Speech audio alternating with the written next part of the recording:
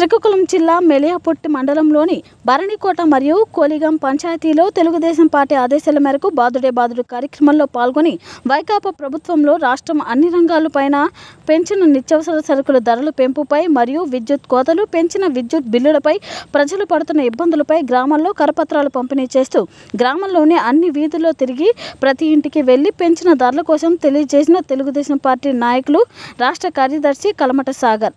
ఈ కార్యక్రమంలో మండల తెలుగుదేశం పార్టీ అధ్యక్షులు భాస్కర్ గౌడ్ కార్యదర్శి వసంత్ జిల్లా మైనార్టీ సంఘ అధ్యక్షులు సయాద్ సిలాల్ ఎస్సీసెల్ అధ్యక్షులు శ్రీను తదితరులు పాల్గొన్నారు. ఎంత ఉండేది? ఆరు వందల రూపాయలు ఐదు వందల రూపాయలు ఉండేది. ఈ రోజు ఎంత ఉంది? పదకొండు వందలు. రూపాయలు. పెరిగింది కదా. వంట నూనె ఎంత ఉండేది?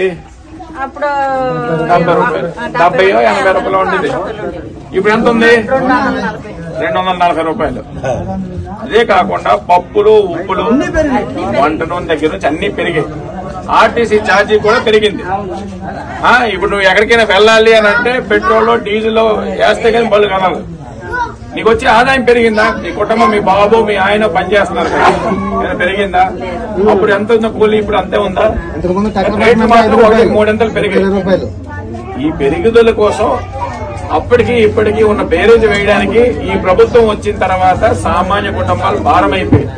మీకు ఇన్నాళ్ళు ఉచిత బియ్యం ఇచ్చేవారు కదా? ఈ బియ్యం ఇప్పుడు ఇస్తున్నారా? ఇప్పుడు కూడా ఆపేశాడు.